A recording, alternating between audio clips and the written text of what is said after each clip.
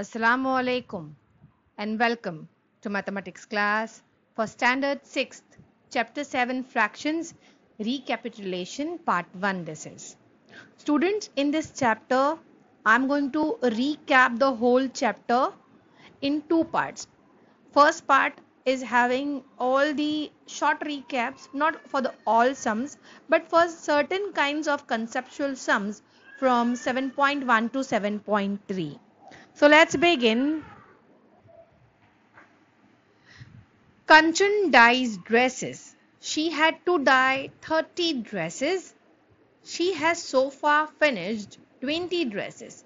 कंचन को कुछ ड्रेसेस को डाई करना है डाई करने का मतलब होता है कलर करना है और उसके पास टोटल 30 ड्रेसेस हैं डाई करने के लिए, जिसमें से अब तक कंचन ने 20 ड्रेसेस का काम कंप्लीट कर लिया है so what fraction of dresses has she finished उसने अब तक कितना काम खत्म कर लिया है, वो फ्रैक्शन के फॉर्म में हमें बताना है। That is total numbers of dresses to dye कितने ड्रेसेस डाई करने के लिए हैं? Thirty and the work she has completed that is twenty so the fraction of completed work कितना काम कंप्लीट हुआ है? ट्वेंटी फ्रॉम टोटल थर्टी अब हम क्या करेंगे? इसे कैंसिल कर सकते हैं। इसलिए हम क्या करें? मल्टीपल्स ऑफ़ टेन में निकाल लेते हैं। जैसे two multiple by ten is twenty and three multiple by ten is thirty ऐसा करना क्यों ज़रूरी है? ताकि आप कैंसिलेशन करके इसका रिड्यूस फॉर्म निकाल सको। अब कैंसिलेशन के लिए दिस टेन और this ten equal numbers one in the numerator and other in the denominator होना चाहिए, जो है। वो कैंसिल हो जाते हैं। अब आपके पास फ्रैक्शन बचा two upon three so what fraction of dresses है शी फिनिश्ड हमें रिड्यूस फॉर्म में आंसर करना होता है, यानी कि सिंपलेस्ट फॉर्म में।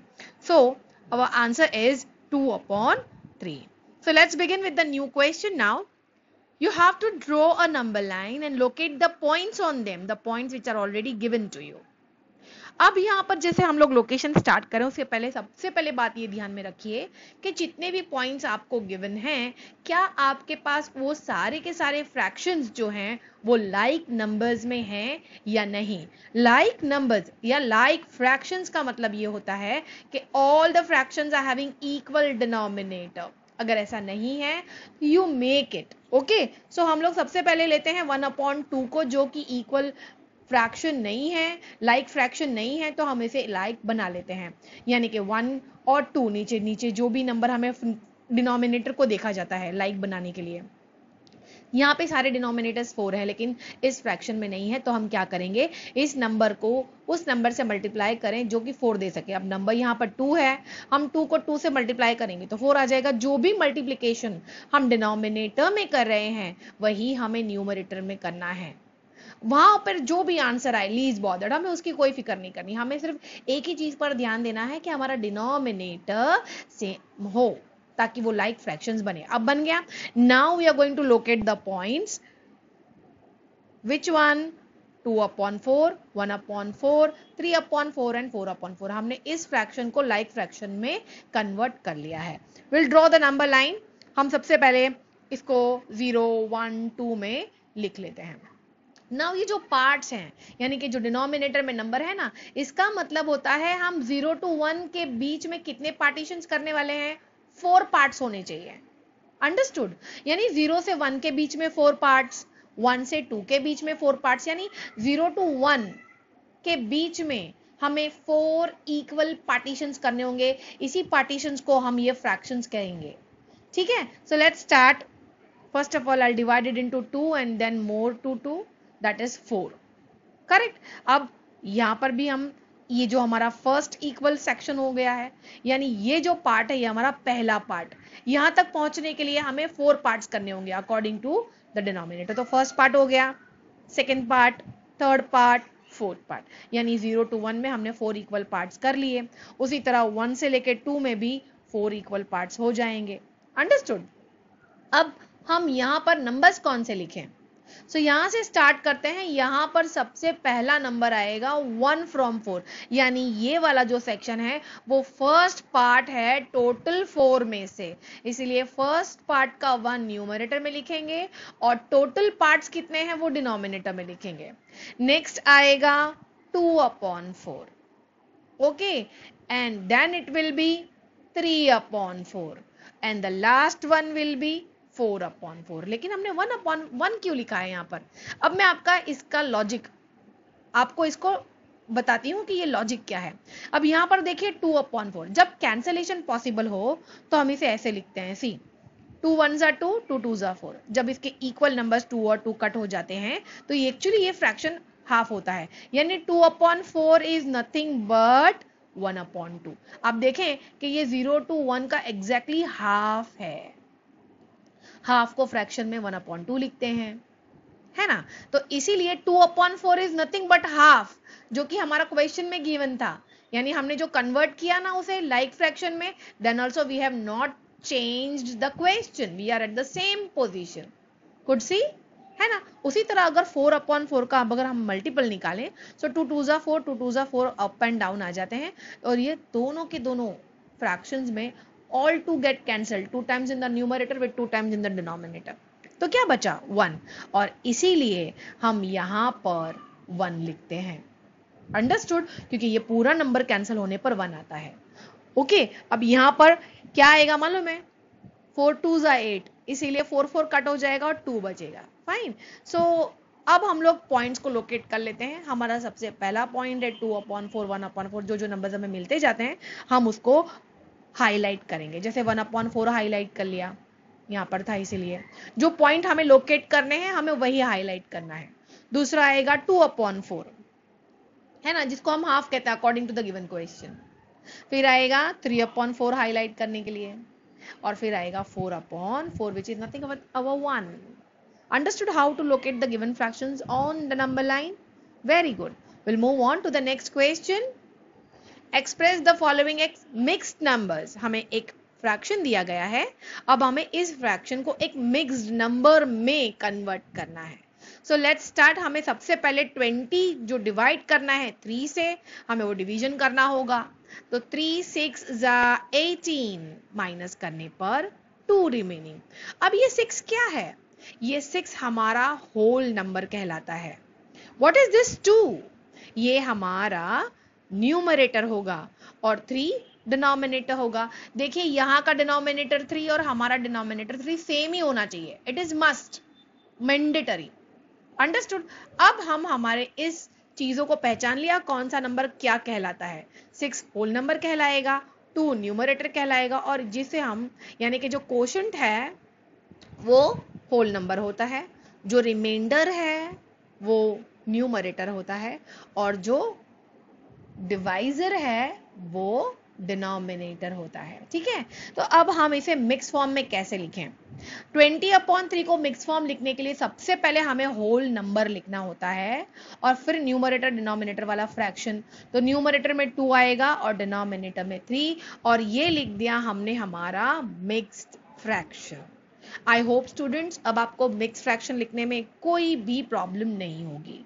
Very good will move on to the next question express the following as improper fraction अब आपको इसका बिल्कुल अपोजिट करना है। यानी अब हमें एक मिक्स नंबर दिया गया है, जिसे हमें एक इम्प्रॉपर फ्रैक्शन में कन्वर्ट करना है। सो लेट स्टार्ट हम सबसे पहले क्या करेंगे? हम सबसे पहले एट और नाइन को मल्टीप्लाई करेंगे। और फिर इस फोर को हम ऐड करेंगे। डिनोमिनेटर में क्या आएगा? जो यहाँ पे डिनोमिनेटर है, वही हमारा डिनोमिनेटर में सिर्फ़ कॉपी होगा। We are not going to calculate any denominators यानी हम डिनोमिनेटर को सिर्फ़ कॉपी पेस्ट करते हैं। अभी आपने ऊपर फ्रैक्शन लास्ट स्लाइड में भी आपने यही देखा कि मैंने डिनोमिनेटर को थ्री का थ्री ही रखा था।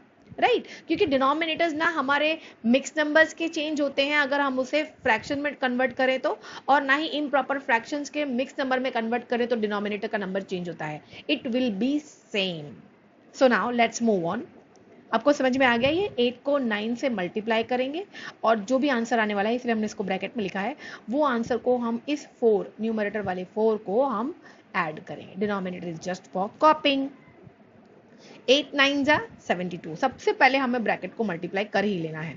Then we are going to add four so seventy two plus four will give you seventy six and the denominator this is our improper fraction. We'll move on to the next question.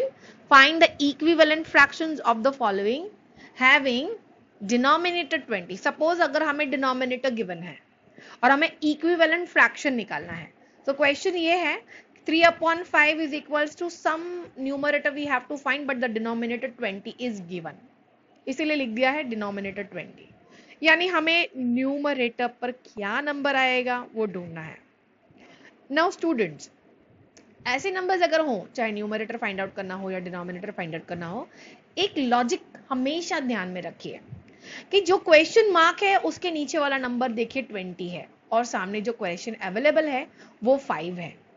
देखिए question mark जहाँ पर है, वो fraction का denominator greater है और जो available fraction है, वो डिनोमिनेटर स्मॉलर है।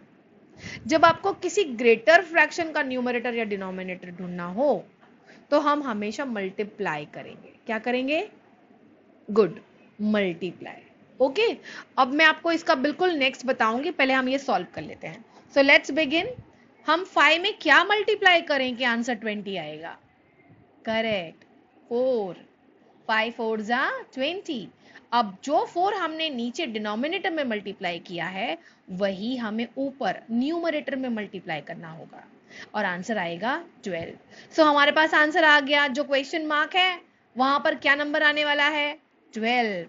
सो so, हमारा इक्विवेलेंट फ्रैक्शन है ट्वेल्व अपॉन ट्वेंटी अब मैं आपको नेक्स्ट क्वेश्चन बताती हूँ जहाँ पे डिनोमिनेटर फोर गिवन है। देखिए अब यहाँ पर जो क्वेश्चन मार्क है सॉरी डिनोमिनेटर फोर गिवन है। अब यहाँ पे जो क्वेश्चन मार्क है हमें नहीं पता यहाँ पे नंबर क्या है बट जो अवेलेबल फ्रैक्शन है उसको ध्यान से देखिए। जहाँ पे डिनोमिनेटर्स अवेलेबल है आप उन्हें देखिए। जो फ्रैक्शन हमें ऑलरेडी पूरा कंप्लीट दिया गया है, उसका डिनोमिनेटर 48 है। और जो हमें फ्रैक्शन का न्यूमरेटर ढूंढना है, उसका डिनोमिनेटर फोर है। यानी 48 इज़ ग्रेटर देन फोर यानी जो फ्रैक्शन हमें ढूंढना है, उसका न्यूमरेटर स्मॉलर होगा। अभी मैं आपको यही बता रही थी यहाँ पर कि देखिए ग्रेटर फ्रैक्शन का अगर न्यूमरेटर ढूंढना हो तो ग्रेटर ग्रेटर होगा, यानी हम मल्टीप्लाई करेंगे। लेकिन अब तो स्मॉलर ढूंढना है। तो अगर स्मॉलर ढूंढना हो स्टूडेंट्स तो हम डिवाइड करेंगे। यानी ग्रेटर ढूंढना हो ना फ्रैक्शन का न्यूमरेटर या डिनोमिनेटर और अवेलेबल फ्रैक्शन स्मॉलर हो तो मल्टीप्लाई के लिए जाना।